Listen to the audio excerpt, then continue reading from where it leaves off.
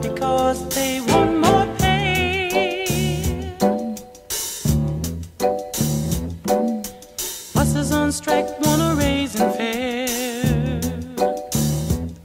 so they can help